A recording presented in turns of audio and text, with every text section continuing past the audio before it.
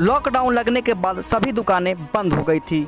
लंबे इंतज़ार के बाद जिला प्रशासन के आदेश पर दुकानें धीरे धीरे खुलने लगी और चहल पहल और रौनक सिवान की सड़कों पर देखने को मिलने लगा। आपको बता दें कि वहीं सिवान की सड़कों पर कहीं सोशल डिस्टेंस की धज्जियाँ उड़ी तो कहीं सन्नाटा दिखा। रिक्शा पर एक आदमी को बैठाना था पर रिक्शा पे दो दो आदमी बैठे दिखाई दिए। बिना परमिशन की कई मोटरसाइकिल सड़क पर दौड़ने लगी।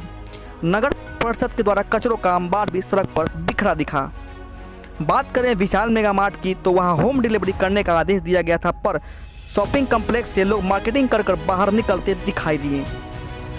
तो आपको बता दें कि कई तरह का आदेश सिवान में इस तरह से लागू किया गया है। दुकान खोलने का आदेश कुछ इस तरह से है। इलेक्ट्रॉनिक कंप्यूटर मोबाइल जेवर, घड़ी, चश्मा की दुकानें जो है 10 बजे से 4 बजे तक खुलेगी, जो सोमवार, बुधवार एवं शुक्रवार को है। कपड़े की दुकान कॉस्मेटिक की दुकान प्लास्टिक की दुकान, जूता चप्पल की दुकान जो है 10 बजे से 4 बजे तक खुलेगी जो मंगलवार, गुरुवार और शनिवार को है। वैसे ही सभी दुकानें जो है, एक दिन बंद करना, एक दिन खोलना है, कई तरह की जो पार्ट की दुकान है, खोली जाएगी। तो आइए आपको सिवान की सड़कों पर दिखाते हैं, किस तरह से दुकानें खुली और किस तरह का चहल पहल सिवान की सड़कों पर दिखा।